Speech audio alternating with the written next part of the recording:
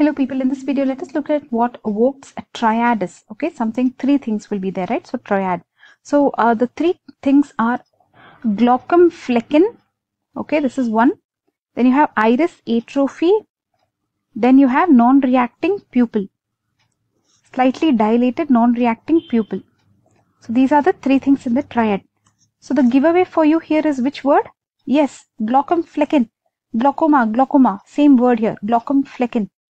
So, in the cases after an attack of uh, acute uh, primary angle closure, so here they are not even calling it glaucoma, acute primary angle closure, after an attack of acute angle, primary angle closure, you can uh, see Vogt's triad in the patient. So you will know that this person had an acute primary angle closure. So you know angle means what, that and all you know.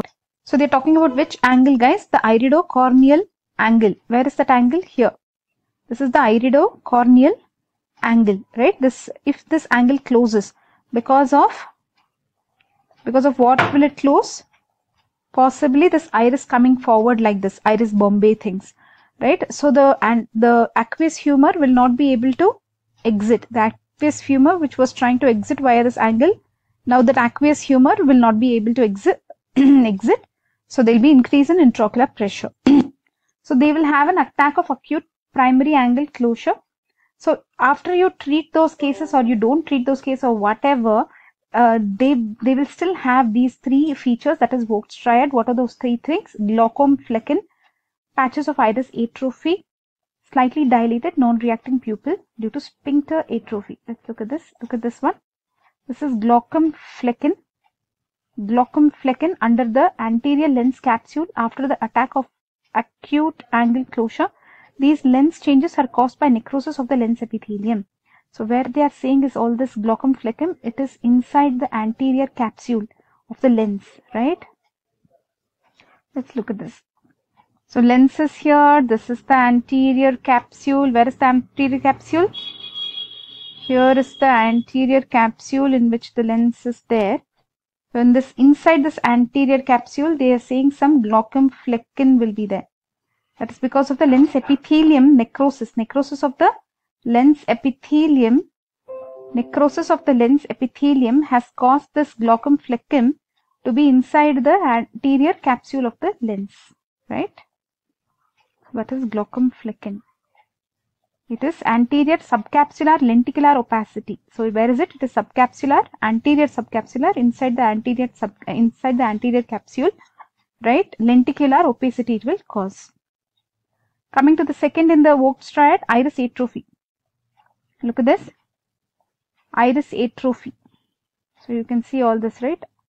Because of that acute angle closure, there is iris atrophy. Okay. That is also in the Vogt's triad. Then the last one is slightly dilated non-reacting pupil due to sphincter atrophy. Sphincter is not working properly looks like. So there is a slightly dilated pupil, non-reacting pupil due to sphincter atrophy. So all this happened because of what? That increase uh, acute angle closure. So Vogt's triad has done three things, glaukomflecken, iris atrophy and uh, slightly dilated non-reacting pupil. Guys, remember Vogt's, uh, this Vogt word will come many times in ophthalmology, so don't get confused. To confuse you, we will tell you what, where and all Vogt is there in ophthalmology. Vogt triad, just now you saw, then there's Vogt white limbal girdle something. Vogt white limbal girdle. Then in pterygium, the islet of Vogt, some words there, cap of the pterygium. Okay some cap of pterygium Vogt you know what pterygium is so in pterygium you remember the parts you have the head and then the cap and the neck and all that right? So Vogt will come there also. That is another Vogt then there is um, Vogt wait you have Vogt Koyanagi Harada syndrome VKH syndrome right Japanese young women autoimmune antibodies against melanin these people will have uh, CNS encephalopathy meningeal irritation. I will have some su Sugiura sign, right? So some perilimbal vitiligo, right? Lot of other uh, conditions they will have. So that is another Vogt, okay? That is VKH, Vogt Koyanagi Harada syndrome or disease. Then you have the lucid interval of Vogt, the ring of opacity separated from the limbus by a clear zone. So where is this? This comes here in um, Arcus senilis. So that is what they have shown here. Lucid interval of Vogt. Then in keratoconus, you have Vogt line and corneal stroma. Vogt lines you can see. Vogt lines will be there in corneal stroma. Look at this. Can you see the lines in corneal stroma? This is in keratoconus. So all Vogts that we uh, we will see in ophthalmology, all of them we have mentioned here. The whole intention of this video was actually to study what? To study Vogt triad. Vogt's triad, we saw this, right? What is this? Glaukomflecken, iris atrophy, and slightly dilated non-reactive pupil. Vogt's triad, it happens when after an attack of acute pri primary angle closure. That's all for now. Bye bye.